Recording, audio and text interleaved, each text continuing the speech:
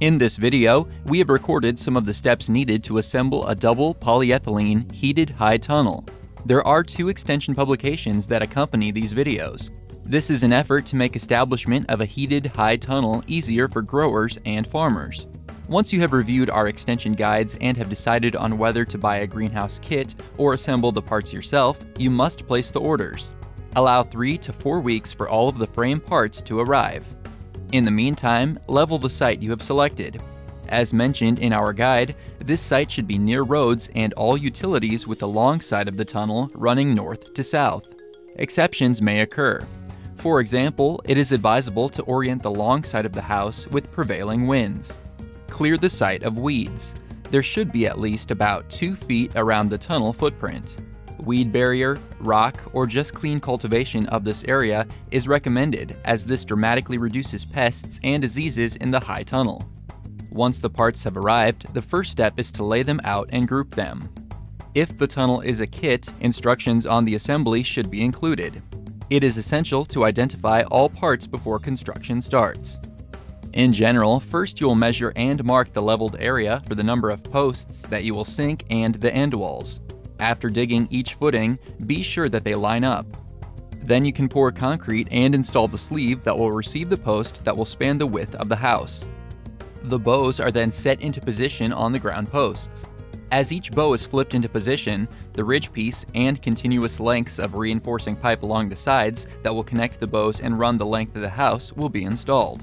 This ensures the spacing between bows will be maintained as well as support the exterior covering. Keep in mind that the number of purlins is key to supporting the whole house. We recommend a minimum of 6 purlins and 1 ridge member. At the base and running the length of each side of the house, install a baseboard to the bottom of the bows. To this baseboard, attach a polyethylene retention system such as Polylock or wiggle wire. This also supports the structure while holding the double polyethylene roof in place. Next comes the end walls. The end walls are framed first allowing for a door on each end. Then they are covered with either polycarbonate or plywood panels. Again, this adds support to the structure. Pink insulation board or spray foam can be applied.